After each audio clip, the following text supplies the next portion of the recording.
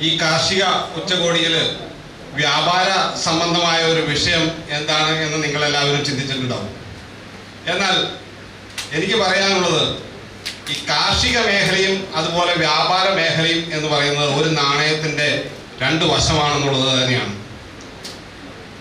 കേരളത്തിൽ കേരള വ്യാപാരി വ്യവസായ ഏകോപന സമിതി എന്ന് പറയുന്ന സംഘടനയാണ് ഇന്ന് വ്യാപാര രംഗത്ത് പ്രവർത്തിക്കുന്ന ആളുകളുടെ ഏറ്റവും വലിയ സംഘടന. ഏതാണ്ട് പതിനാല് ജില്ലകളിലായി പതിനൊന്ന് ലക്ഷത്തോളം അംഗങ്ങളുള്ള ഒരു സംഘടനയാണ്.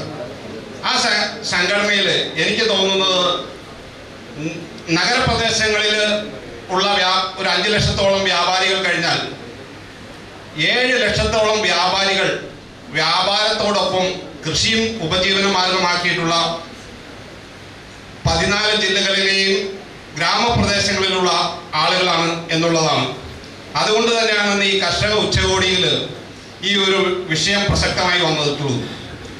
നമുക്കറിയാം നമ്മുടെ കേരളത്തിലെ ഏറ്റവും കൂടുതൽ ഫുഡ് ഗ്രെയിൻസിനേക്കാൾ കൂടുതൽ കൃഷി ചെയ്യുന്നത് നാണ്യവിളകളാണ്. അതുപോലെ പ്ലാന്റേഷൻ റബ്ബർ പോലെയുള്ള കൃഷിയാണ് ഇന്ന് ഏറ്റവും കൂടുതൽ കേരളത്തിൽ കൃഷി ചെയ്യപ്പെടുന്നത്. ഇത്തരം കൃഷികളുടെ ഒരു വില തകർച്ച കേരളത്തിലെ ആകമാനം സാമ്പത്തിക പ്രതിസന്ധി ഉണ്ടാക്കിയിട്ടുണ്ട്. കാരണം ഇതിന്റെ ഉത്പാദന ചെലവനുസരിച്ച് റബ്ബറിനാണെങ്കിൽ ഒരു ഇരുന്നൂറ്റി അൻപത് രൂപയെങ്കിലും വില കിട്ടിയാലാണ് ആ കൃഷിയായി മുന്നോട്ട് പോകാൻ കഴിയുകയുള്ളൂ എന്നുള്ളത് ആണ് ഇവിടുത്തെ കർഷകർ പറയുന്നത്. അതുപോലെ കുരുമുളകിന്റെ കാര്യത്തിലായാലും ഏലത്തിന്റെ കാര്യത്തിലായാലും സ്ഥിരമായി ഒരു വില ലഭിക്കുന്ന സാഹചര്യമല്ല ഇന്ന് നിലവിലുള്ളത്. അപ്പൊ ഈ ഇത്തരം ലക്ഷക്കണക്കിന് കോടി രൂപയുടെ കാർഷിക ഉൽപ്പന്നങ്ങളാണ് കേരളത്തിൽ കൃഷിക്കാർ ഉൽപ്പാദിപ്പിക്കുന്നത്.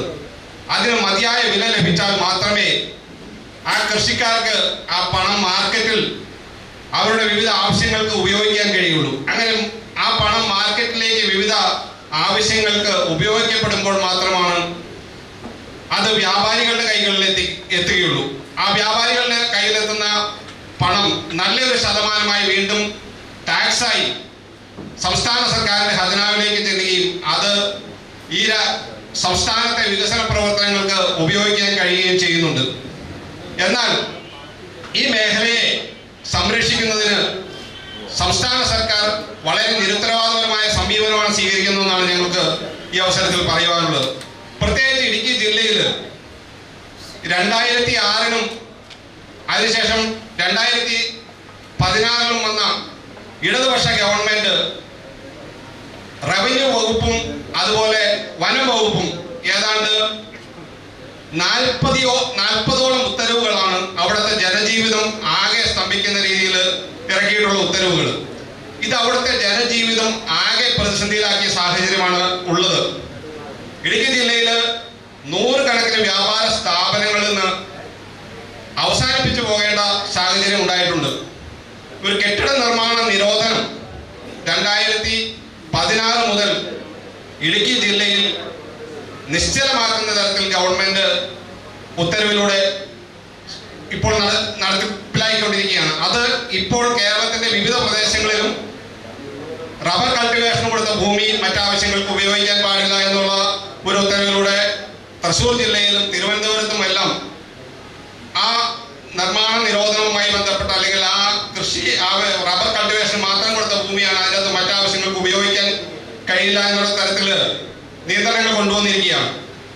പിന്നെ എനിക്ക് കഴിഞ്ഞ ഗവൺമെന്റ് കാലത്ത് തോട്ടം മേഖല മുറിച്ചു വെച്ചതായി ബന്ധപ്പെട്ട് ഒരു ഇഷ്യൂ ഉണ്ടായിരുന്നു. അത് പീരുമേട് മേഖലയിലുണ്ട് കാഞ്ഞിരപ്പള്ളി മേഖലയിലുണ്ട്. അപ്പോൾ അത് ഗവൺമെന്റുമായി ഒരു ചർച്ചകൾ ചെയ്തപ്പോൾ അന്നത്തെ റവന്യൂ മന്ത്രി പറഞ്ഞത് ഞങ്ങൾ ഈ തോട്ടം മുറിച്ച് ഭൂമിയില്ലാത്ത വീടില്ലാത്ത ആളുകൾക്ക് പതിച്ചു കൊടുക്കാൻ പോവുകയാണെന്നാണ് അപ്പൊ ഞങ്ങൾ ചോദിച്ചു ബഹുമാനപ്പെട്ട മിനിസ്റ്റർ ഇതിപ്പോ ഒരു പത്ത് സെന്റ് വീടുമായിട്ട് താമസിക്കുന്ന ആളെ ഒഴിപ്പിച്ചിട്ട് നിങ്ങൾ അത് ഭൂരഹിതർക്ക് വിതരണം ചെയ്യുമെന്ന് പറയുന്നത് എന്ത് ലോജിക്കാണെന്ന് ചോദിച്ചപ്പോൾ മന്ത്രിക്ക് ഒന്നും പറയാനില്ല. ഞങ്ങളുടെ തീരുമാനം അതാണ്. പത്ത് സെന്റുകാരനെ ഒഴിപ്പിച്ചിട്ട് അത് ഭൂരഹിതർക്ക് വിതരണം ചെയ്യുമ്പോൾ ആ വീടുമായിട്ട് താമസിക്കുന്നവൻ വീണ്ടും ഭൂരഹിതനായല്ലോ എന്ന് പറഞ്ഞപ്പോൾ മന്ത്രി പറയുന്നത് ഞങ്ങൾക്ക് അതൊന്നും ആ, ബാധകമല്ല ഞങ്ങൾ നിയമം നടപ്പിലാക്കാനാണ് ശ്രമിക്കുന്നതെന്നാണ് ഇത്തരം ഭരണാധികാരികളാണ് കേരളത്തിൽ ഇന്ന് നമ്മളെ നയിച്ചുകൊണ്ടിരിക്കുന്നത് അതുകൊണ്ട് ഇത്തരം കാര്യങ്ങളെല്ലാം നിങ്ങൾ മനസ്സിലാക്കണം. ഞാൻ കൂടുതൽ ദീർഘിപ്പിക്കുന്നില്ല. നമ്മളുടെ പ്രബന്ധം നമ്മളുടെ ഗ്രൂപ്പിൽ ഇട്ടിട്ടുണ്ട്. നിങ്ങളുടെ എല്ലാ പിന്തുണയും വ്യാപാര സമൂഹത്തിനും കൂടി ഉണ്ടാകണം.